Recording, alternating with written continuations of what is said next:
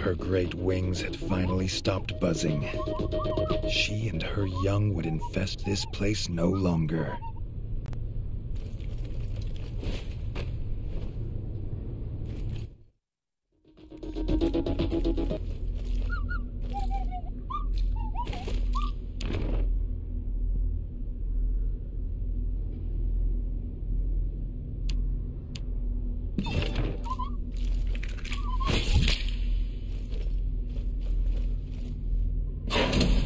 Now the electricity was back, the little mole would take them on his track.